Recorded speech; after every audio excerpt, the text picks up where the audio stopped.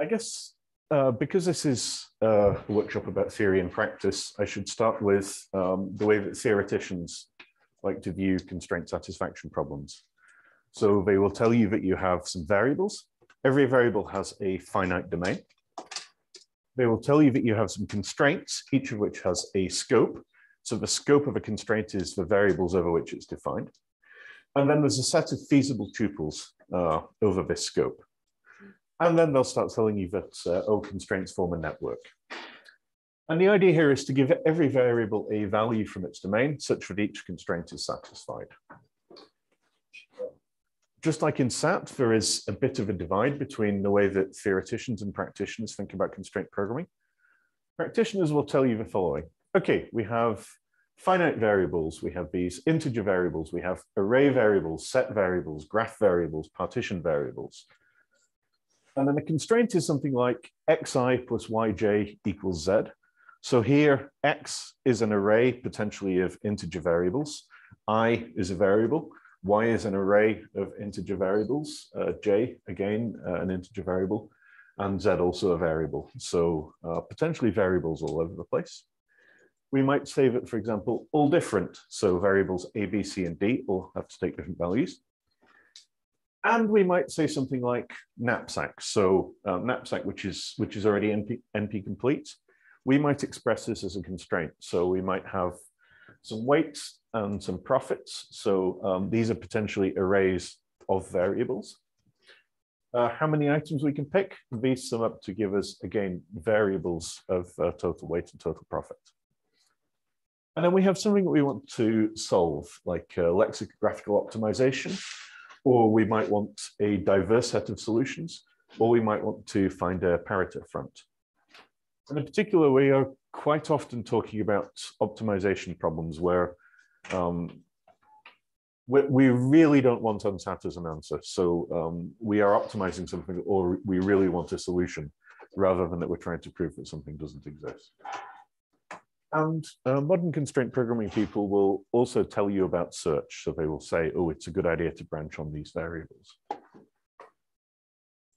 So I thought I'd put up a, a bit of a dictionary for people who are not used to constraint programming talks. So when I say a problem, what you should what you should think of is a high level description of what you're trying to do with parameters. When I say model, I mean a description of how we encode a problem when I say instance, I mean we are going to take a model and apply it to a set of parameters, and we're going to get something out that we can solve. So you can think of this as being like your CNF. When I say a solution, I mean a model. Uh, when I say propagation, I, I mean propagation, but it's more complicated. When I say variable heuristic, I mean something a bit like VSIDS. When I say value heuristic, I mean polarity. And when I say no good, I mean a learned clause, but it's backwards. So it's the negation of a learned clause. Uh, so it's, it's something that is no good. Okay. Uh, and then once we've done this, uh, SAT and CP are basically the same thing, except for the terminology. Maybe a bit more. We talk a lot about modeling in CP. We have many modeling languages. Uh, there's Essence, MiniZinc, XCSP, uh, probably many of us.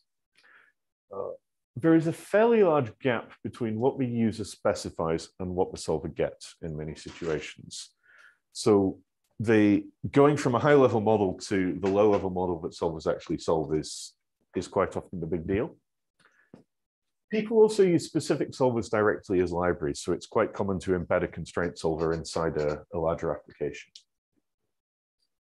Here's an example. This is a MiniZinc problem.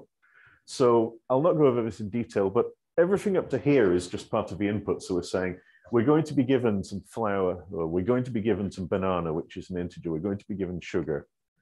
We're going to make some cakes. Uh, these, we're saying here, var. So these are things we're actually finding. And these are constraints. This is, this is actually an integer linear program. Um, we have our objective, and the most important feature of any modeling language is the way of outputting the solution so that the user can read it. Um, this feature is vital, and it does kind of affect how you can compile the problem. Alternatively, since we have some people from St. Andrews in the room, this is an example of modeling in the Essence modeling language. Again, I'll not go into details, but we're starting to say here, find me a sequence, which can be any size up to horizon, of total functions from this set to this set. Um, so we're really encoding structured variables in a high level modeling language here. Um, such that and a bunch of constraints. This is, this is in fact a, a planning type problem. XCSP, I, I don't think any of the XCSP people in the room, so I can say that I really don't like this, but there is an XML modeling language that somehow embeds things that are not XML, so you still have to write a parser in this. I, I don't know, but it's popular in France. You can use a solver directly. This is how you would use the Gecode solver. So somehow you are defining a class that has these variables that represent your problem. You're defining these constraints and uh, you can really program anything you want to about the solver. So branching heuristics, propagation, etc. Uh, apparently people like Python now. Uh, we have a Python modeling language that is suddenly extremely popular. So this is Sudoku. This is probably the nicest way of writing out Sudoku that I've seen. Oh. In particular, in constraint programming, we care a lot about finding a good model for a problem, or even finding multiple good models and then solving them all simultaneously with what we call channeling constraints between them. And in contrast to SAT, where you are given the CNF and you must obey the CNF, you must not question the CNF. Uh, in CP, we will change the model as much as we like. Um, we consider it completely fair game to solve the problem in a different way to the way that we're being given. Uh, some of this is automated, some of this relies upon human modelers. The question that always comes up is, is when is CP actually good? Uh, in particular in comparison to SAT. My rough answer to this is, okay, what if we are mixing several different kinds of constraints? So for example, difference constraints, logical constraints, integer linear inequalities. If we're mixing these constraints and they interact in, in interesting ways, then somehow um, the CP solving techniques based upon consistency seem to be quite good at tackling this. Another area is um, sometimes SAT encodings are just too big. I work a lot on subgraph solvers the encoding size for subgraph isomorphism in SATs uh, will kill you uh, much faster than it will in CP. Uh, so there's an advantage to not having to write out all the constraints in CNF. When you want a human understandable model, I think this is, I think this is potentially a big deal going forwards. Um, if we're a bit careful, we can write minis essence so that a human can understand what we're solving. I would argue that very few people can read the DIMACS CNF format and understand really what what's going on there. Another area is where you have optimization problems, but you have hard constraints. Um, so you have some constraints that you absolutely cannot violate. Um, again, in this case, I would argue that constraint programming is potentially much better than trying, for example, um, classical local search, uh,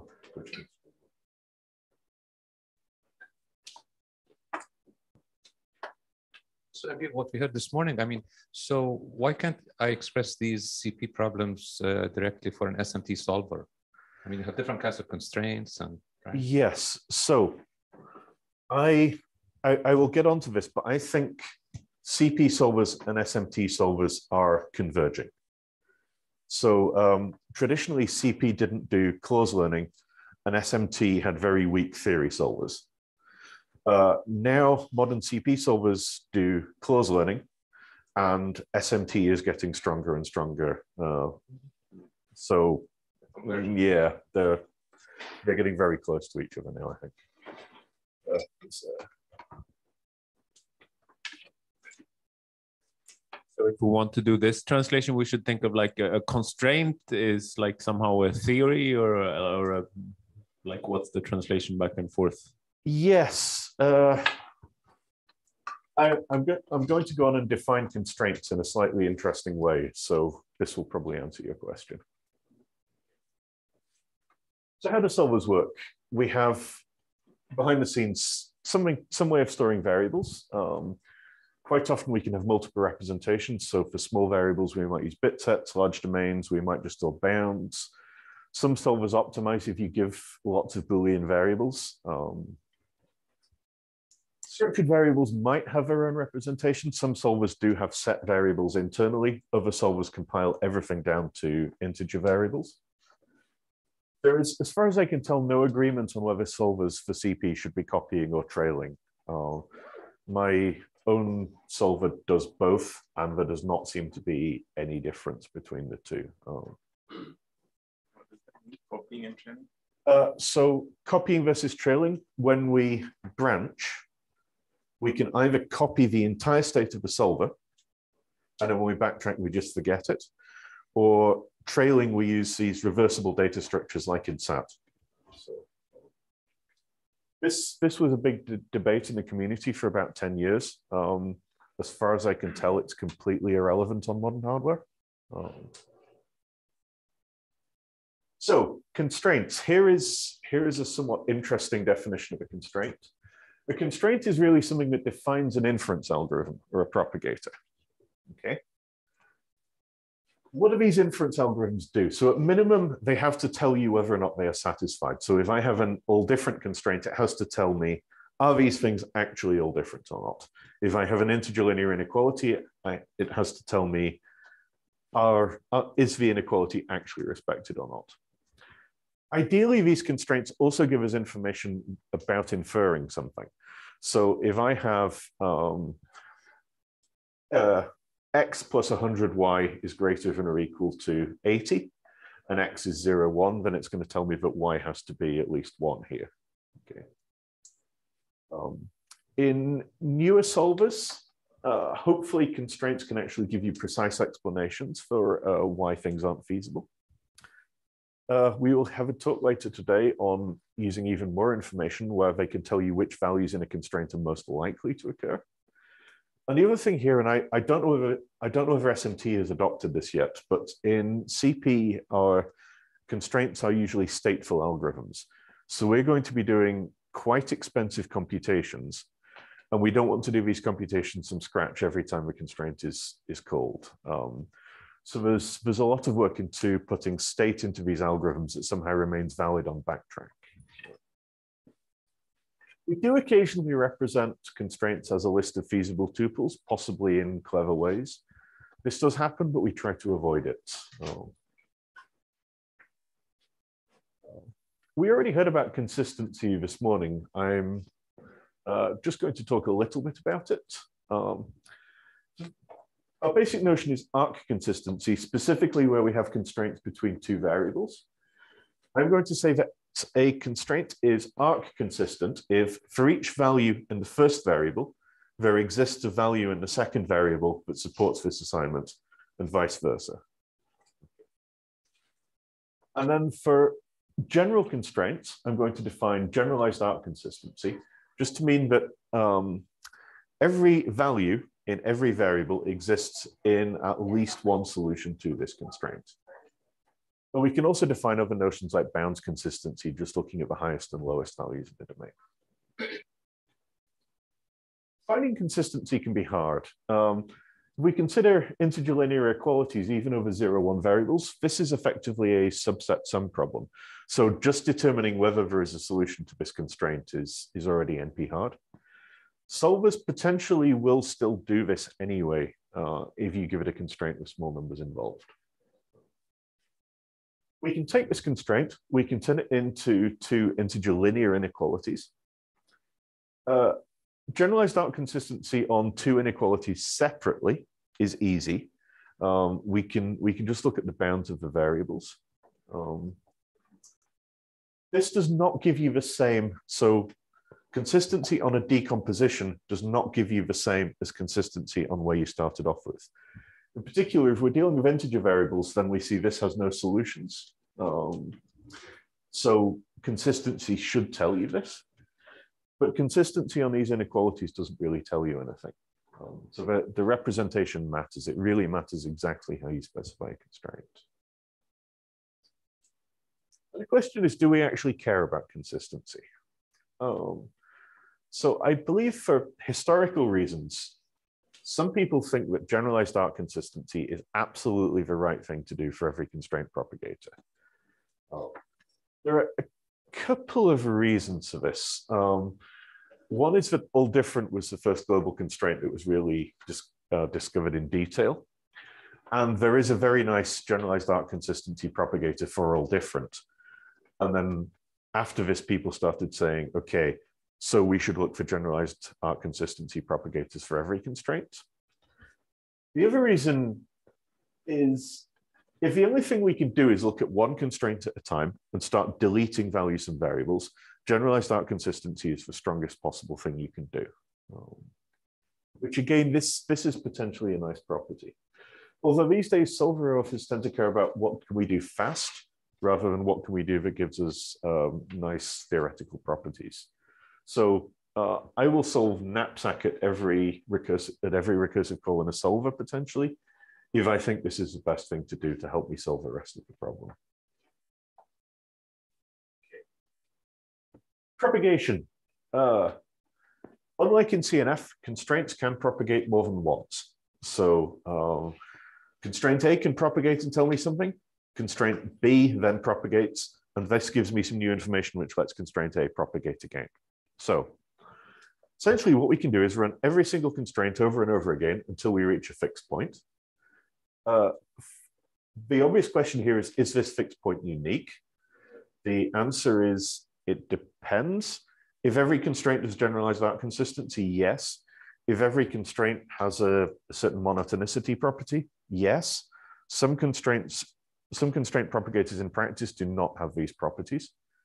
Uh, and then there is a huge amount of engineering effort in how do we propagate all these constraints as quickly as possible. Um, we can do generalizations of two watched literals, except potentially you have to watch an awful lot of things. Uh, we have events, we have multiple constraint queues. Um, sometimes you can determine a static ordering of a constraints that will work. Um, but this, this in general is a very difficult problem, is to figure out how to run your constraints as quickly as possible the thing here is constraint propagation is slow uh, compared to SAT solvers. Uh, we might be running very expensive propagators many times, and a, a, full round of constraint propagation can potentially take seconds to complete. But also constraint propagation is very fast. Uh, for some problems of a right representation, we can infer thousands or millions of facts per clock cycle.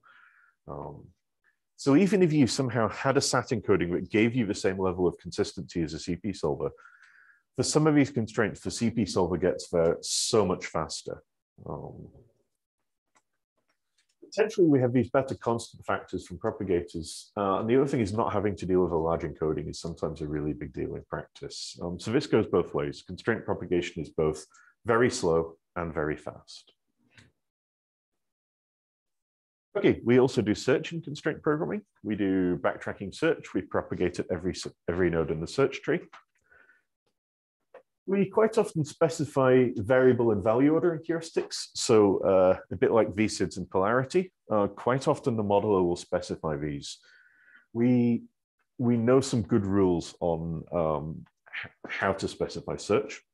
We will also quite often restrict the solver to only branching on certain variables, which we call the decision variables. Um, again, this is um, this is some, something that a good modeler can do, that they'll have an intuition that you should only branch on these variables and everything else should just be calculated. It's a surprising to me that the modeler uh, gives you like which variables to branch on. Typically what happens from my experience is the modeler will say, okay, well, here's a cryptographic problem. You should branch on the keys, which is almost surely the worst thing you can do because, mm -hmm. uh, yes. right? So, and that's the direct and immediate intuition of every modeler who works in yep. cryptography and then you have to teach them. So i'm like usually i don't trust any of this. I just like ignore. Like the best thing you can do is ignore. Actually reverse is usually the best thing you can do. But what is your experience with this? Uh, a good modeler knows this. Um, the, the thing is a, a lot of cp very a lot of cp encodings will look like okay i am producing a timetable I'm going to have my timetabling variables that tells me, okay, what am I going to schedule at which time in the timetable?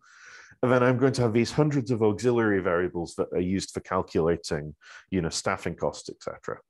Um, if we, if we think of a simple workforce scheduling problem, it is actually a good idea to decide, okay, I want this person to work on this day.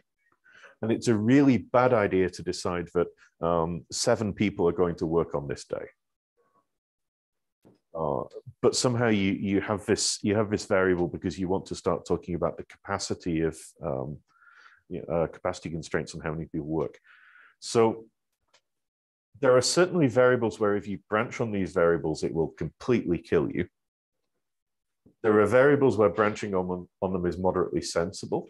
Um, and what tends to happen is you need to find a good branching variable somehow. You let the modeler give you a hint, and then the solver will start doing something a bit VSIDSy. It will say, okay, which variables tend to appear in conflict, and it will know to branch on those. Uh, but uh, the default is usually automatic. So the user doesn't actually have to specify anything most of the time, and the solver will determine variable value. Yeah. There, there are defaults in most solvers. Um, they're okay. That's, yes. So um, so we do a backtracking search, and uh, th this is the point of VSIDS. We we start saying, okay, either which variables appear in lots of conflicts or which constraints appear in lots of conflicts. And we can start um, biasing. So we can say this constraint is 10 times heavier than this constraint so. If, if a modeler is good, we have program, program search. You can do things like uh, branching on expressions. So um, there's a, a car assembly line example. You don't decide I am going to produce this car on this day. Uh, you decide, I am going to produce a, a red car on this day. Uh, and somehow this is, this is a really big deal. And I think theory people can potentially tell us something about this. This is a bit like branching on extension variables. Uh, possibly. Uh, you, you might disagree with this one. It's like, well, I mean, extended resolution, right? Yes. You mentioned this variable that represents this constraint, and your this constraint is your is, is a form of bounded uh, extended resolution. No. It's, it's a, yes. Um, this this is effectively branching on an extension variable of this reifying a constraint. Um, although you could argue that you could just put these variables in the original model and solve right. the problem that way. So yeah, we, do do. Restarts, we do do restarts. They seem to be much less frequent than in SATs for whatever reason. Um, they seem to be mostly about boosting weighted variable ordering heuristics in practice, so telling us how to branch. Um, we can do no goods from restarts efficiently, so effectively um, we, we do some complete branching over a subtree. We have an efficient way of saying never visit that subtree again. And finally, this is this is getting to the connection with SMT. So in a in a traditional propagator, we'd say, okay, we've made we've guessed some assignments G, and now we know that X is not equal to five. One way of thinking about this is we're going to generate a clause that says, uh, if you do all of G, then X cannot be equal to five. Uh, we can think of this as being a new constraint, and we can add this into the solver. Um, but of course, you can be much more specific. You don't have to say that all of these guesses led to this conflict. You can say this, these three very specific things mean that x cannot be equal to five. Um, so we call this lazy clause generation. One way of thinking about this is you can have a really, really strong CNF encoding, but you can create it dynamically when you need it.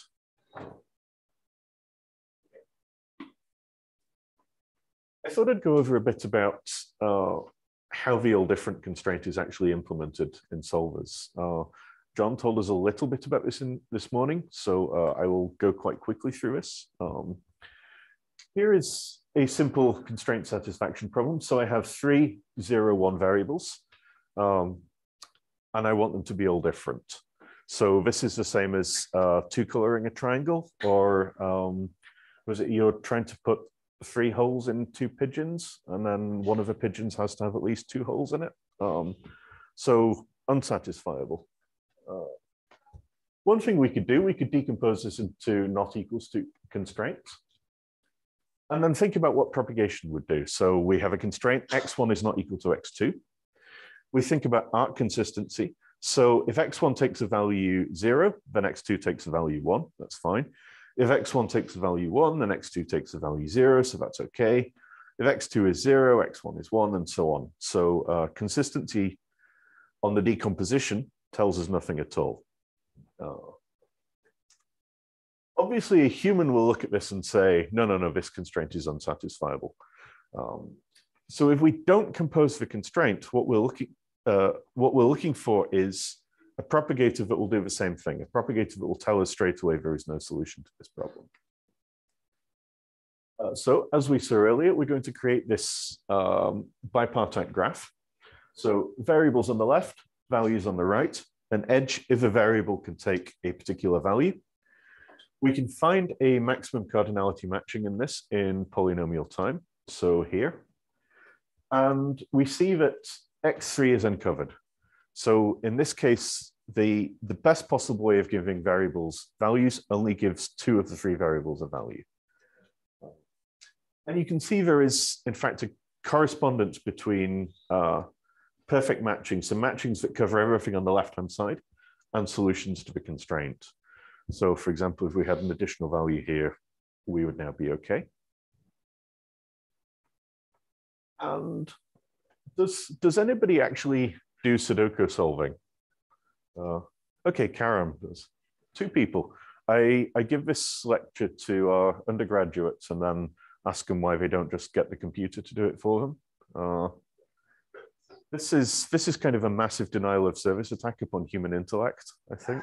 Uh, okay, Karam, tell me, if these are the values left in the boxes, what are you going to infer when you solve this? I have no idea. Okay. C can anyone tell me anything you can infer? One on the left.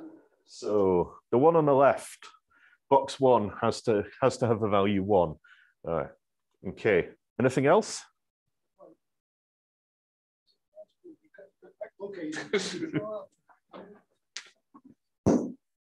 You can throw out the two and three at, at, at, at, out of that two, three, five, eight, The two nine. and three. Yep. Eh, eh, So- eh, Well, you can try the two and three everywhere. Yeah, okay. Anything else?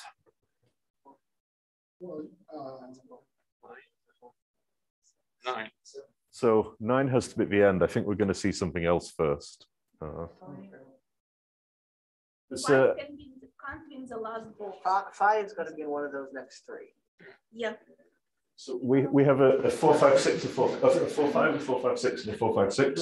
So we know they have to go somewhere. So that those can't go there. Uh, seven, nine, seven, eight, nine, eight, nine. Uh, and I think this is this is everything we can do. Okay, so we need an algorithm that will tell us this. Um, let's let's go back and think about consistency. So uh, I'm going to call a Hall set a set of n variables whose domains have exactly n values between them. And there is a theorem that if we so if we find a Hall set, so if I can show you n variables that have n values, then none of the other variables can take those values.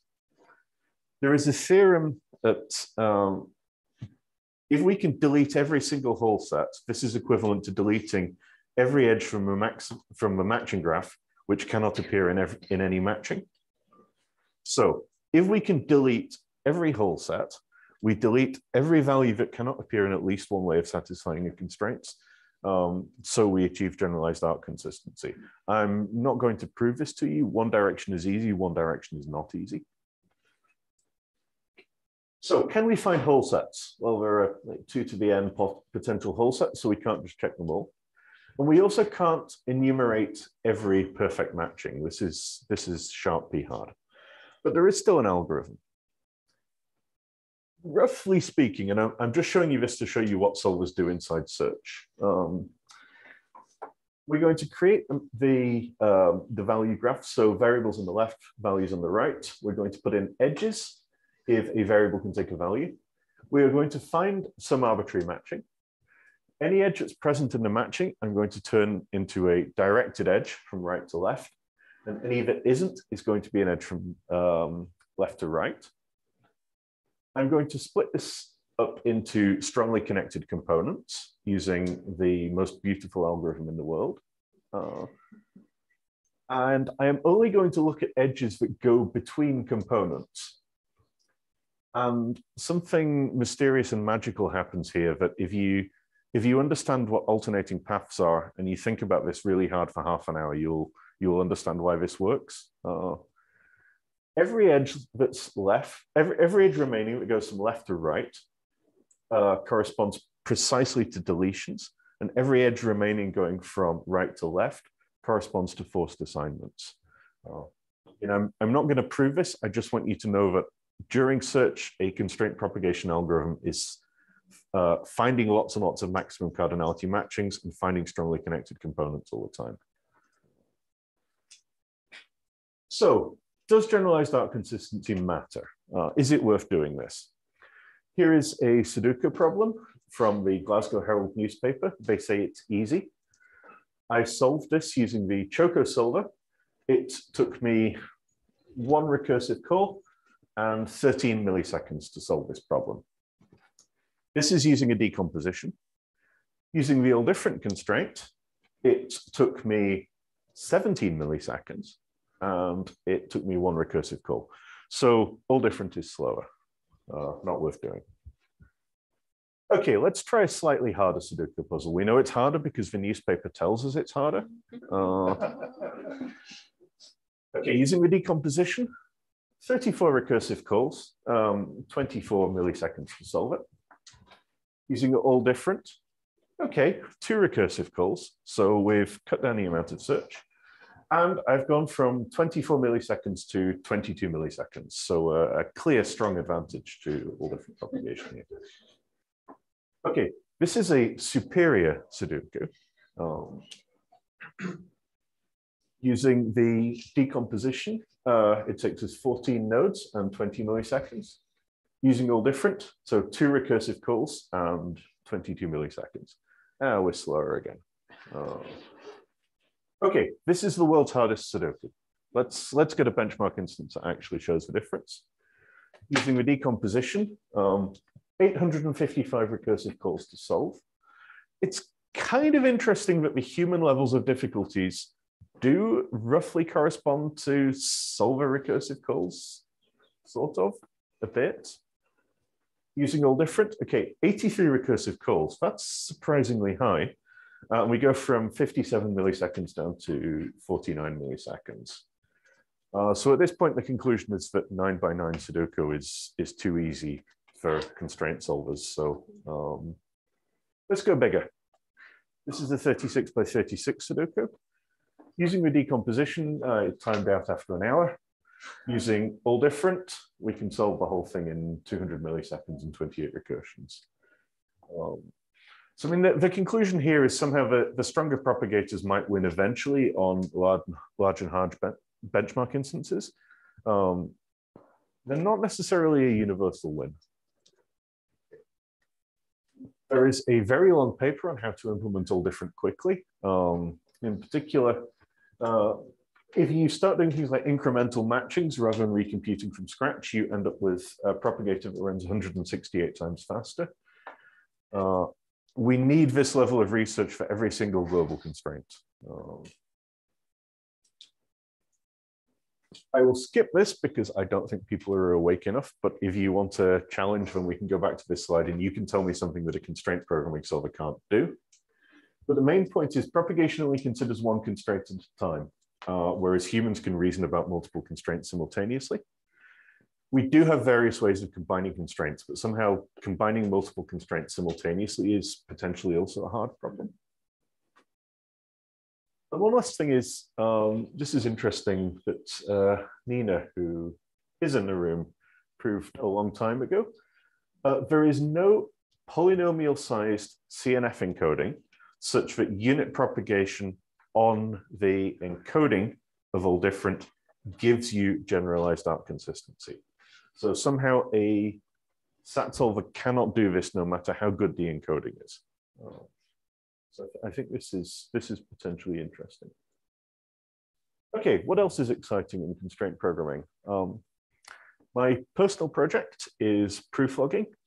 I think we need proof logging for constraint programming.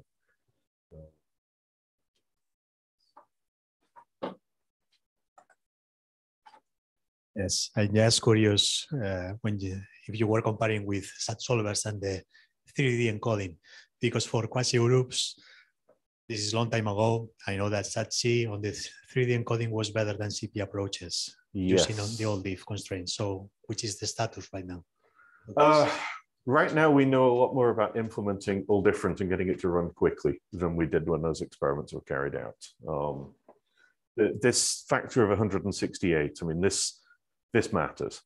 Um, I, I know some people say, "Oh, all different doesn't matter," based upon a slow all different propagator on fairly small problem instances. Um, if you have a fast all different propagator and large problem instances, sometimes it matters.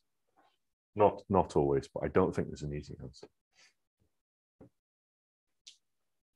Uh, proof logging for CP, yes, we need this. Uh, constraint programming solvers do have bugs. Um, this is hard. We can't just compile to SAT because the encodings might be wrong and uh, we might not have uh, strong enough reasoning in the SAT solver. We have all these propagators that do all these kinds of clever reasoning.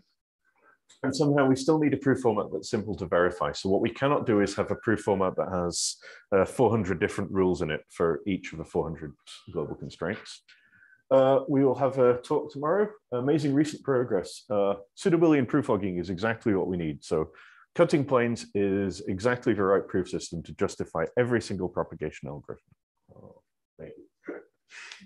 Uh, Constraint-based local search. I put this in because it does not satisfy Karem's definition of local search. Uh, we can do this.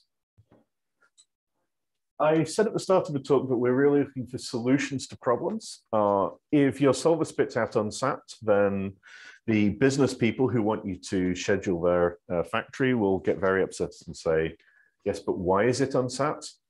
And it turns out that solver says no is, is not an answer somehow if you if you have high level constraints you can somehow get a very small core that can give you human understandable explanations uh, some of the time. Belief propagation we have a talk on this this afternoon. It's really cool so i will skip it.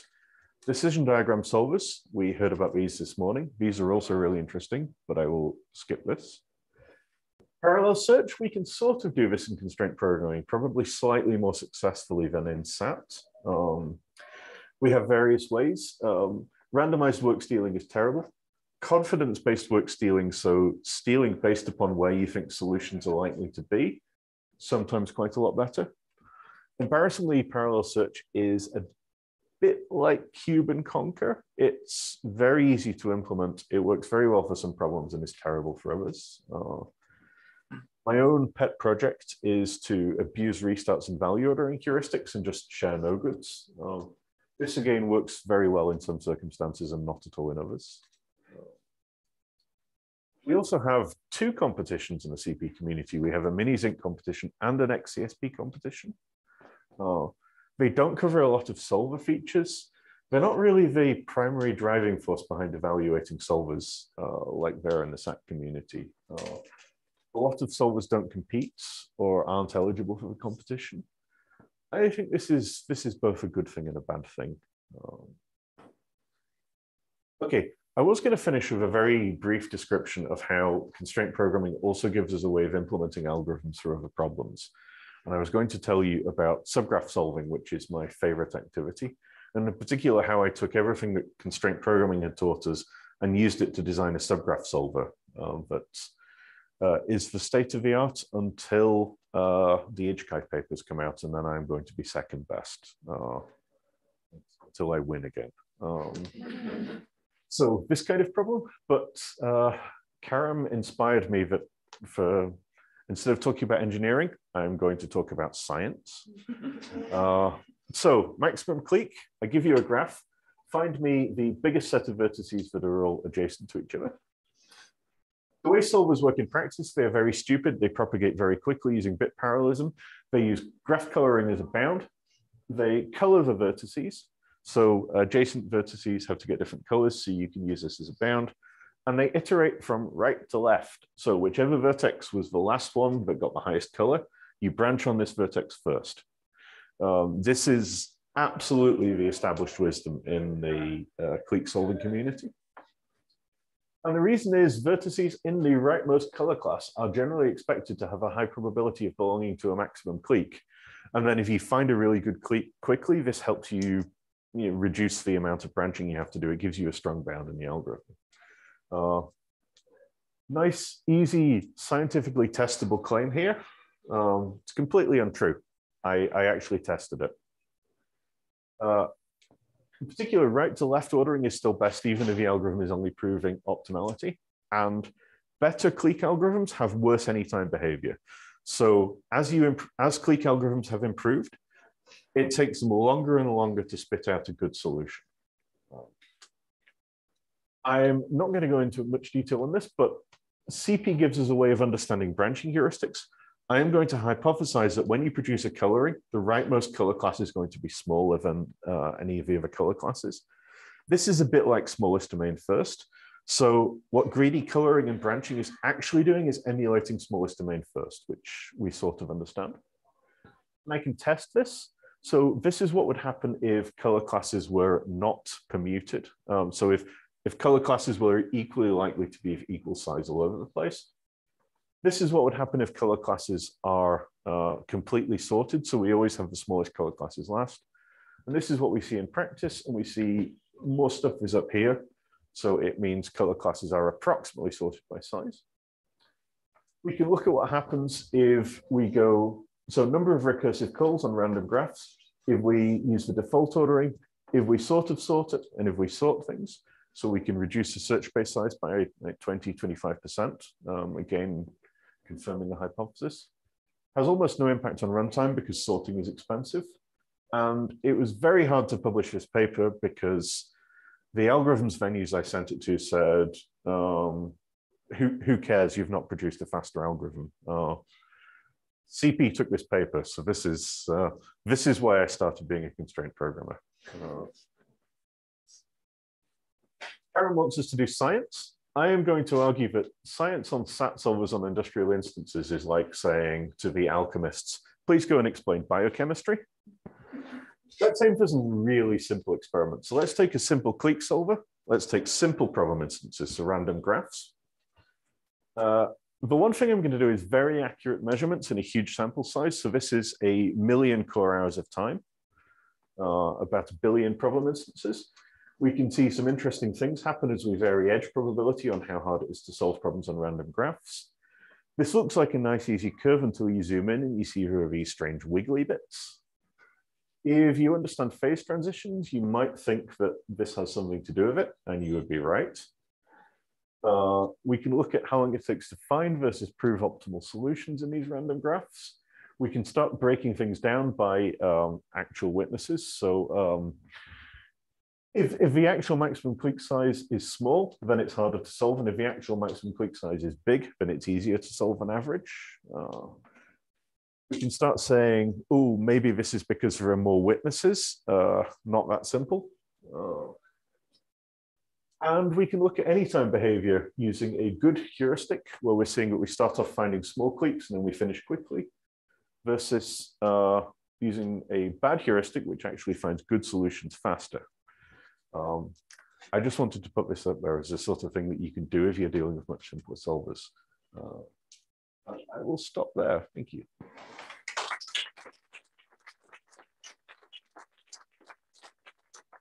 Thank you. Some questions?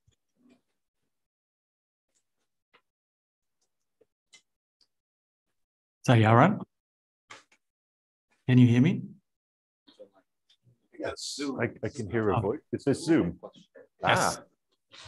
Ah. Um, you said that uh, restarts are less frequently necessary than in SAT solvers. Do you have a personal explanation for this? Uh, I, I can hypothesize that we're not really learning very much. Uh, if, if you look at what restarts actually help you with in a classical CP solver, they, they help you with your branching heuristics But somehow, if we're not doing clause learning, it doesn't help us learn better things. So my hypothesis is if you're not doing learning, then you're not getting very much out of the restarts. They are relatively expensive to do, but they do help you decide how to branch later on. Um, this, this is what I think is going on, although uh, I could not tell you how to design an experiment that would test specifically this claim. Uh, Okay, thank you. Uh, so do you have something similar to phase saving when it comes to polarity selection? Uh, yes. So we call this uh, value ordering heuristics. Um, quite often, the, quite often there is really a correct thing to do. So either you want either you want to give variables uh, low values or you want to give variables high values. Uh, and quite often the modeler will specify this. We don't have good automated ways of figuring this out. I can, there is a good default heuristic in solvers for variable ordering. Somehow value ordering is, is trickier. Um, yes, that's uh, open problem, I believe. Yeah, uh, the clique examples you show were based on random Yes. random grad. Did, I mean, did you try things like planted cliques or uh, which might um, also, I mean, when people actually want to find the maximum clique, they might be doing sequence alignment or something like yes. that. Um, so, so, so, so you, you know, are there other uh, good sources of, of, of data because because yeah. I, I, I know from experience with SAT that, that, random problems are completely different from oh yeah industrial problems. Yeah. Yes, I mean the, the aim of the experiment is not to explain every single aspect of why clique solvers work in practice.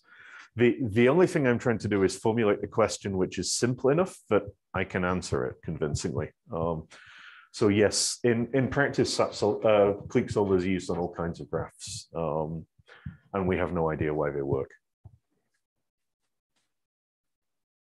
Hi, I just wanted to follow up on uh, Nadel's question about the phase about the phase saving or value selection.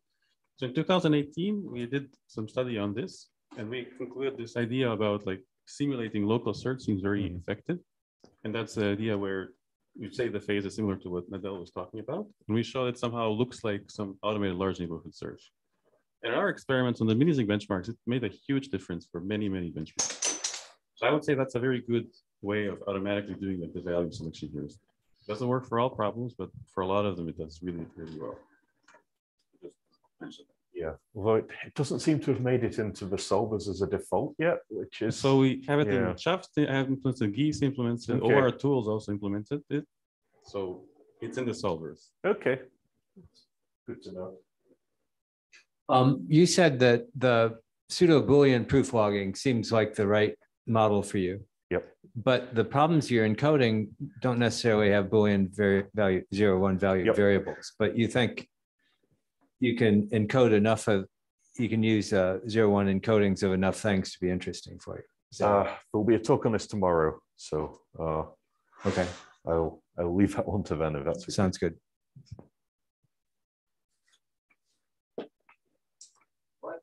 One more question.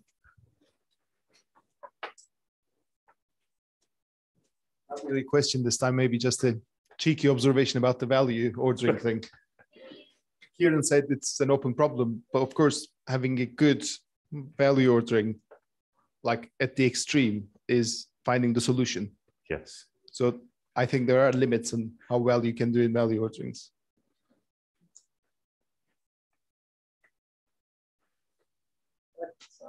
Thank our speaker again.